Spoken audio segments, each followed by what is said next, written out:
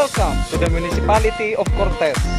Located high up on a plateau, the municipality of Cortes in the province of Bohol lies northeast of the city of Tagbilaran, about 10 kilometers away, more or less about 15 minutes travel time.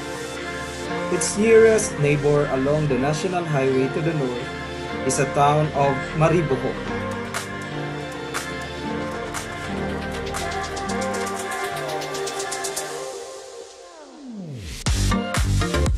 Town fiesta is held every 16th of January in honor of the Holy Child Jesus, the Santo Niño.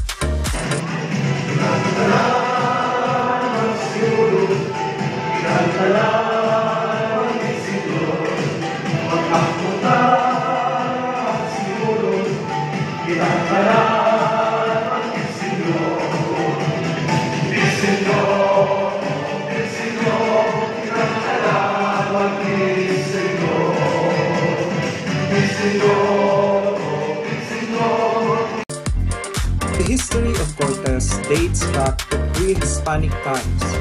There already was a form of government way before the coming of the Spaniards. The town was known as Malabago after its chief who was a contemporary of King Lomon, otherwise known as Tamblot, the first Boholano to raise arms against the Spanish conquistadors. The town was probably established in 1862 during the construction of the Catholic Church with the settlements of Malabago, Pamingwitan, and Daihangan jointed into one and called Pueblo de Cortes.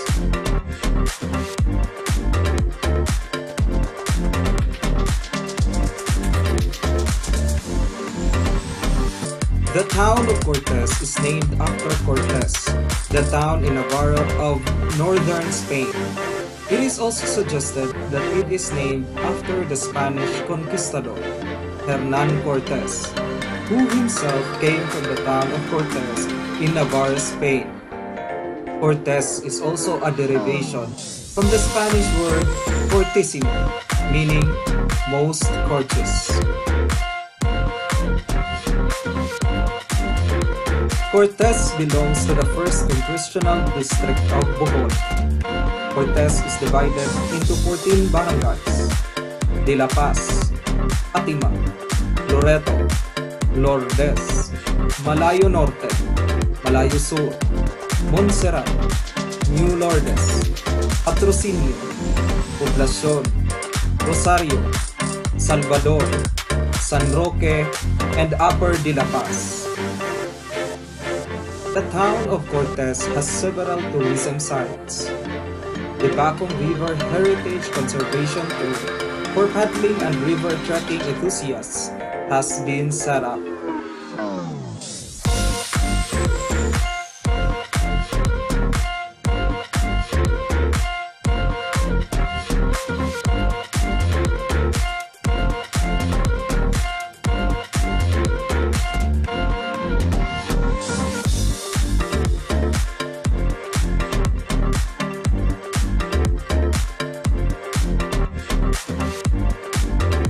The Abatan River is one of its natural assets. The river traverses through the town of Antequera and for the town of Balilihan for an estimated length of 20 kilometers.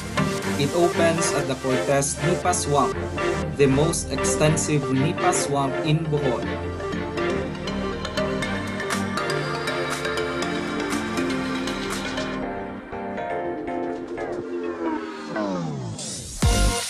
The Libili Spring is another site envisioned for development by the local government in Malayo Norte. The Santo Niño Parish Church was badly affected by the 2013 earthquake.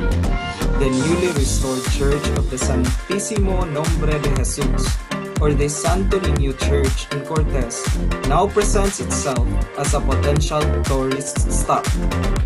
Cortes Church also boasts of its frescoes, one of the best preserved ceiling paintings in Bohol, done by Ray Francia, as commissioned by the diocese in the early 1920s. In the coming years, it is believed that the town of Cortes will make a lot of progress because of the big government projects.